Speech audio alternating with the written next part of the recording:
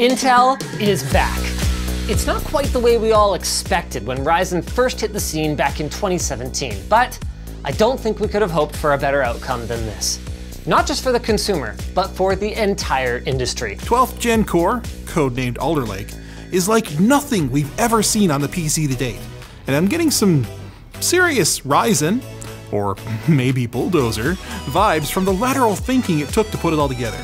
So let's talk about the who, the what, the why, and how this return to competition is so good for everybody. You know what else is good? Our sponsor, Origin PC. Origin PC laptops can be customized with Intel Core processors and NVIDIA GeForce RTX 30 series graphics with Max-P design. Backed by a 24-7 support team, you can check out Origin PC at the link below.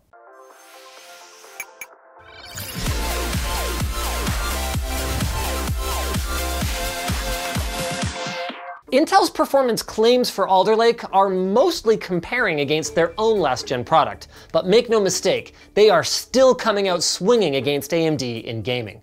They say Alder Lake gets equal or up to 30% better performance than Ryzen 5000 depending on the game, and up to 50% better than 11th gen core processors. This is huge, although there are some concerns about their methodology. Intel's graphs mention running Windows 11 for all of their testing.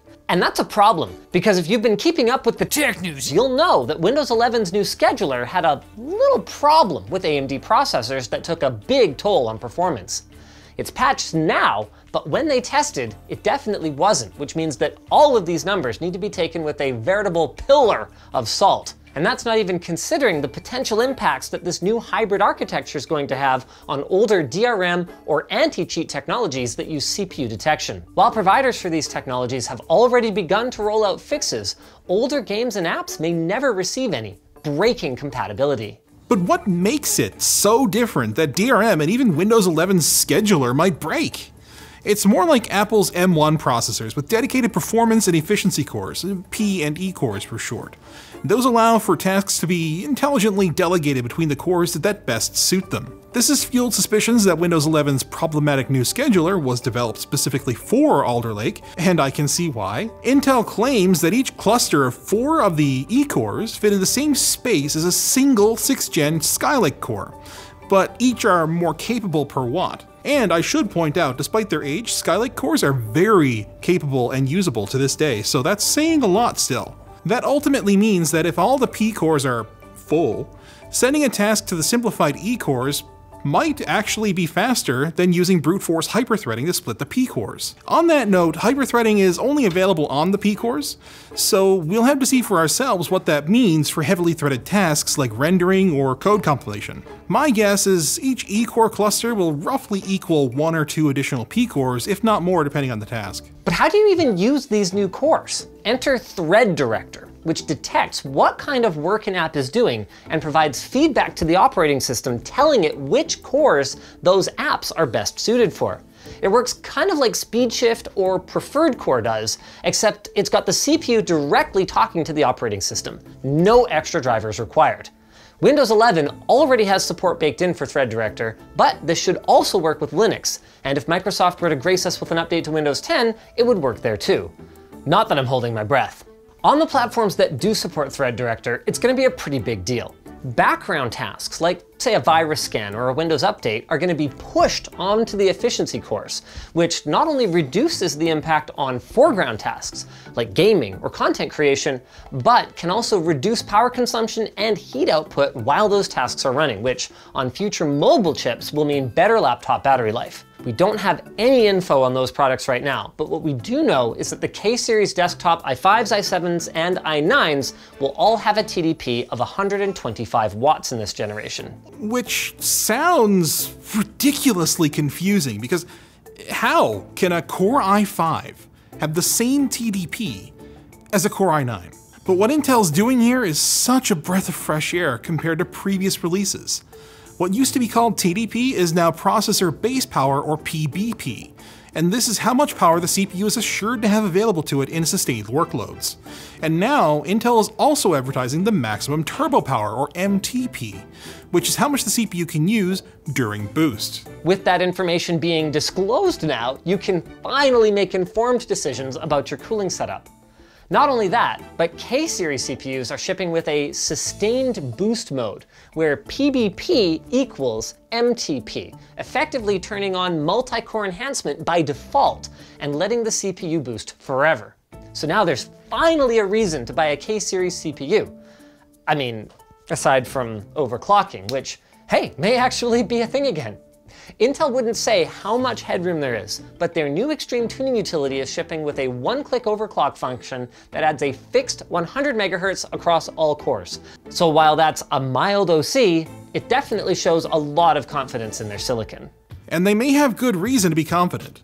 Not only does 12th Gen Core have a larger footprint in the updated LGA 1700 socket, it's also built on Intel's long-awaited 10 nanometer SuperFin process, now called Intel 7 because Thanks to marketing, nanometers have lost all meaning in chipmaking. Ice Lake was the first to use this process, but suffered from frequency issues that Tiger Lake largely resolved. Can I just say that it's, it's really fitting that it would be under Intel's new CEO, Pat Gelsinger, that the new process would finally be ready for the desktop? He was the chief technology officer back in 2008 when Intel first spoke about 10 nanometer. Like it's, it's like they kept the seat warm for him, with six generations of 14 nanometer chips. They could have, you know, just used a water bottle from LTTStore.com. It would have been a lot cheaper, for sure. Right? The new V2 ones even have an Intel-inspired design. There's more to the platform than just nanometers and cores, though. Intel is shipping the first consumer CPU to use PCI Express Gen 5, which feels really soon after Gen 4, doesn't it? Although it was kind of like this with Gen 1 through 3. It just took a long time for Gen 4 to come around to the consumer market. The benefits of PCI Express Gen 5, though, aren't super clear just yet. But as with Gen 4, it doubles the bandwidth over its predecessor, and once cards are available to take advantage of it, it could allow for far more flexible lane arrangements for things like bifurcation. Because here's the thing, 8 lanes of Gen 5 is equivalent to 16 lanes of Gen 4, or even 32 lanes of Gen 3. Man, we are firing on all cylinders now. It's kind of like the innovation that we missed out on in the 2010s is all just hitting us at once now. This is great. 12th Gen Core CPUs are going to ship with a combination of PCI Express Gen 5 and Gen 4. Perhaps the most useful improvement for right now, though, is the upgraded Gen 4 link to the new 600 series chipsets, which is double the bandwidth of both the outgoing 500 series and AMD's X570 platform. Not only that, but the chipset now supports up to 28 Gen 4 lanes. Taken together, this should make it a lot easier for Z690's new integrated Wi-Fi 6E and standard 2.5 gig Ethernet to coexist with things like 10 gig Ethernet and 20 gig USB ports, additional storage, and more. Also, it's not common, but Intel is curiously supporting a dedicated clock generator for more reliable base clock overclocking. Wouldn't expect to see these outside of enthusiast boards though, because who actually does that? Alder Lake is also the first x86 CPU to ship with support for DDR5. Now, like many transition chips, the memory controller on Alder Lake is compatible with both DDR5 and last generation DDR4, but it should be noted that you can't run both at the same time. DDR5 could end up being one of the most interesting things about Alder Lake because it is a huge departure from just about everything we know about computer memory. I've got a full deep dive on what is different about it. It went up yesterday. You guys are gonna wanna check that out. The TLDR though is that internal bottlenecks have been removed, the power management has been moved onto each DIMM, and it provides much more granular overclocking control. Intel's XMP3 memory overclocking spec also allows manufacturers to include up to three separate profiles now, and includes two user-specified profile blocks with descriptive names for things like high bandwidth mode or low latency mode, including per module voltage control. Each of the profiles are CRC checksum, so if anything should happen to corrupt one, the system will actually know about it instead of happily moving that decimal point and letting out the magic smoke. As for the hardware vendors, self-certification is free of charge, which should speed up adoption of XMP3, perhaps even among lower-end memory kits. That's not all Intel's doing with memory though. Where 11th Gen Core brought the ability to toggle XMP manually after the PC has been booted, Dynamic Memory Boost is a new feature that can automatically toggle it based on load. It's something like Turbo Boost but for RAM. This means that you can save on power and thermal output while retaining the benefits of high-speed memory when you need it, which might not be a big deal for desktops, but for laptops, this is to be huge. There's no software or operating system support needed for it either.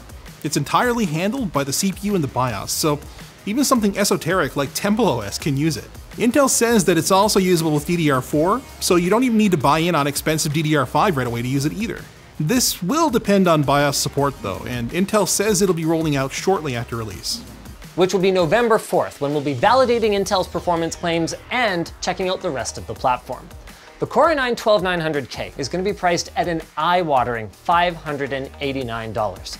That's a fair bit less than the leaks suggested, but it is still $50 more than the 11900K and $40 more than a Ryzen 9 5900X, a CPU that has no efficiency cores, just performance cores, and 50% more of them there's gonna be some spicy benchmarks coming your way next week. Like I've been getting goosebumps thinking about all the innovations that AMD and Intel are gonna have to make over the coming years now that they are at each other's throats again properly and we've finally got an engineer back in charge at Intel.